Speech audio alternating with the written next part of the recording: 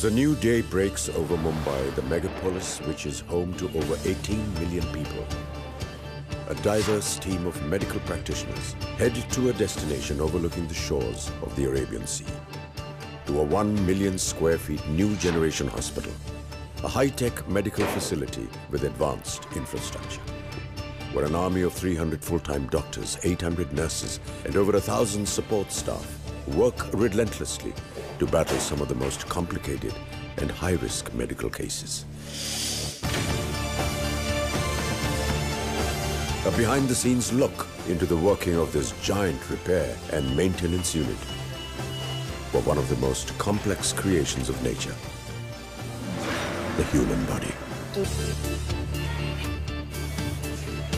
Where there is no scope for error because at the other end is a human life. This is an exclusive insight into the highly restricted zones of this world-class hospital. One hour of intense real-life drama as some of the best medical minds fight against all odds to save lives. This is Inside Kokilaben Ambani Hospital.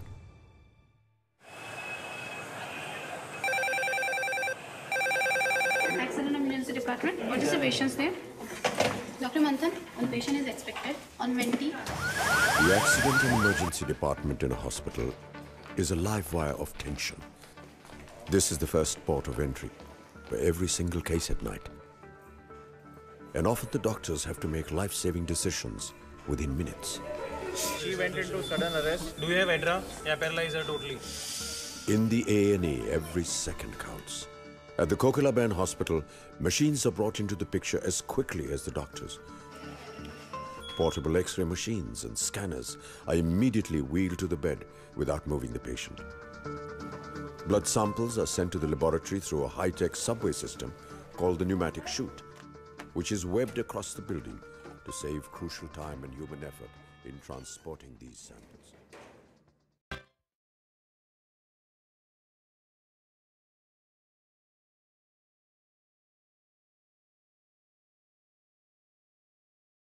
Respect for life.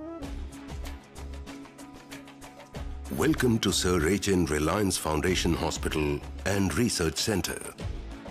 This is not just a hospital, but a movement that was started in 1925 by Sir Harkishan Das Narottam Das, who took a pledge to establish a hospital and research center for the Indians, of the Indians, and by the Indians. Today, this state-of-the-art 19-story tower is a 345-bed, multi-specialty tertiary care hospital with six thrust areas. Cardiac sciences, nephrourology, neurosciences, oncology, orthopedics and spine, woman and child health. Every infrastructural and technical aspect of the hospital is designed to facilitate three primary objectives. Safety, comfort and efficiency. A dedicated network of pneumatic tubes transport samples and medicines within the hospital to ensure speed and patient safety. We have installed separate lines of pneumatic tubes for transporting soiled linen and biomedical wastes to eradicate the risk of infection.